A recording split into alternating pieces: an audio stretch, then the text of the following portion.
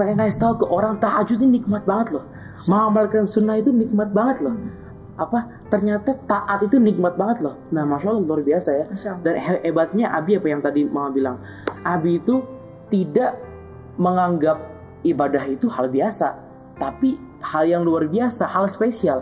Pengen ibadah kalau kita kan yang penting tutup aurat udah selesai. Hmm. kalau Abi mandi dulu pakai baju yang bagus pakai apa minyak wangi-wangian jadi seakan-akan bukan biasa aja Ya, kemudian saya ibadah sunnah yang Abi lakukan itu bagi Abi mewajibkan diri Hmm. sendiri. Jadi kalau kita kadang Tuh. masih ada bolongnya, mungkin hari ini tahajud, besok lusa enggak, kemudian tahajud lagi, besoknya lagi enggak. Tapi kalau Abi enggak, karena itu mewajibkan pada dirinya untuk tetap sholat tahajud nggak boleh putus. Coba teman-teman. Jadi abi itu beda. Kalau misalnya sunnah, sunnah itu apa? Sunnah itu bila mana dilakukan mendapat pahala ya. Kalau misalnya nggak dilakukan ya nggak apa-apa. Tapi bagi abi, sunnah itu kebiasaan-kebiasaan Nabi itu sudah menjadi seakan-akan wajib bagi abi. Masya Allah. Iya. Jadi ada satu hadis yang bagus banget. Man ahya sunnati faqad ahabbani wa man ahabbani kana ma'i fil jannah.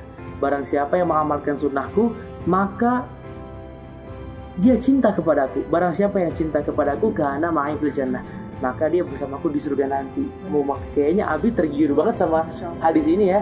Iya. Sampai-sampai Abi walaupun sakit pun masih mengamalkan sunnahnya.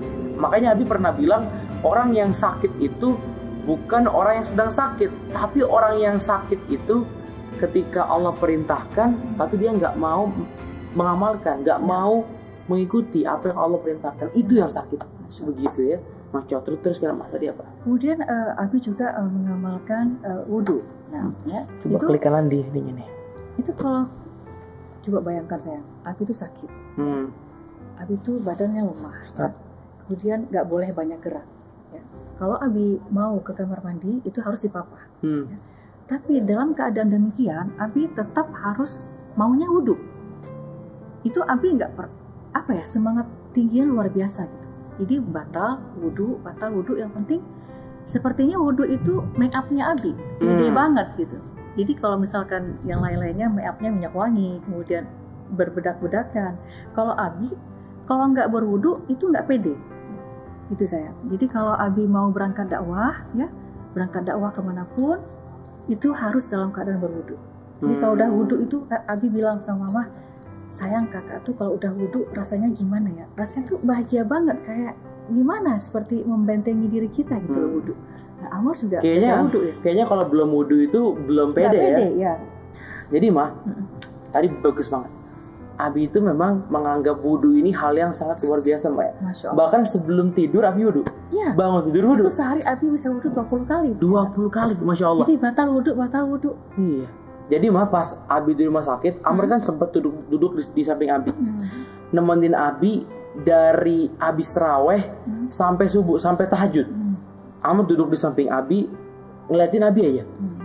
Ternyata Abi ngapain? Abi tidur, bangun batal kan? Hmm. Karena sakit, bangun. Karena bangun batal, wudhu lagi, tidur lagi, bangun lagi, batal lagi, wudhu lagi, bangun lagi, batal lagi, wudhu lagi, sampai tujuh kali, sampai se- segitunya. Aku Itu bilang, Abi. Abi, Abi, ngapa gini banget? Udahlah gitu, nggak apa-apa istirahat aja. Abi lagi sakit gitu. Jangan, kenapa? Abi bilang gitu ya? Yang apa? Yang wajib aja kalau misalnya kita sakit itu nggak apa-apa kan? Benar. Kita, apalagi yang sunnah. Nah ini Abi nggak nggak mau, Nggak mau. nggak mau. Harus sempurna Abi. Harus sempurna. Itu masya Allah Abi itu sangat sangat luar biasa. Dan teman-teman ini buat apa? Sambil kita jelasin teman-teman yang mau ngasih pertanyaan boleh. Yang masih mau yang mau ngasih pertanyaan nanti insya Allah kita jawab. Silakan Pak. Ya, kemudian eh, Abi juga eh, sangat menjaga duhanya. Duha. Ya, itu duha kalau duha itu Mama masih ingat ya, itu Abi eh, mempraktekkan duha itu dari Abi masih kecil, SD kelas 2. Hmm. Itu Abi yang ber- bercerita sendiri kepada Mama. Itu duha Abi nggak pernah nggak nggak pernah tinggalkan Nggak pernah sampai putus sekarang. duha? Nggak pernah putus. Dari kapan tuh? Dari Abi masih sekolah SD saya. Dari SD Nah, ya. kalau duhanya dari SD, tapi kalau yang tujuh sunnah yang lainnya satu minggu setelah menikah ya. Oh begitu.